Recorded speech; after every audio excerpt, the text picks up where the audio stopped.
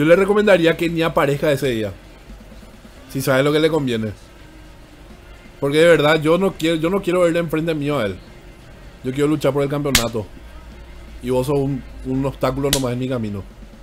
A mí una de las peleas que más me interesa dentro de Guerra Campal es justamente esta, la de Falcón contra Dani, porque citando, citando los dos casos, Dani es fuerza pura, Dani es fuerza bruta, no en vano se le puso el, no en vano, y acá me voy a querer un poquitito, no en vano le puse, le puse el nombre de la bestia.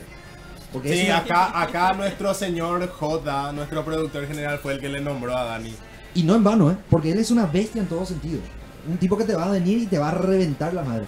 Y Falcón tiene técnica. Y yo voy a insistir muchísimo con eso. Porque vos te enfrentás a una persona que la fuerza bruta no sirve. Si no, si no viene acompañado de la técnica. Porque vos podés tener una potencia importante en los brazos y en las piernas. Pero es un tipo a quien se te va a escapar fácilmente de las manos.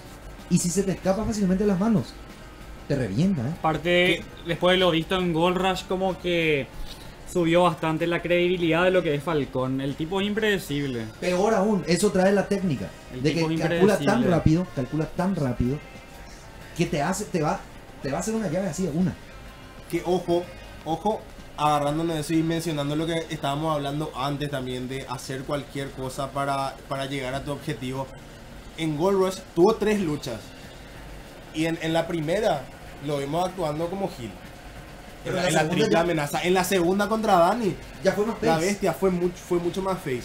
Cuando le tocó la oportunidad eh, de, eh, de entrar en la triple amenaza por el campeonato, volvió a utilizar eh, jugadas sucias, eh, jugada- otro tipo de estrategia. O sea, ¿Podemos- también está dispuesta a hacer Po- cualquier podemos, hablar- cosa. podemos decir que Falcon es un twinner en potencia.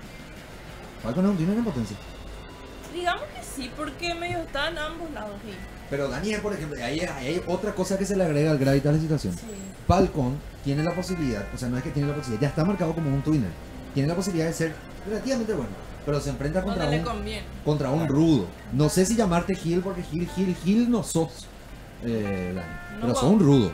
Sos un tipo que, que no hay que cruzarte por, no hay que cruzarse por tu camino. No es wow. Si él Sin no es. Si él no es. No.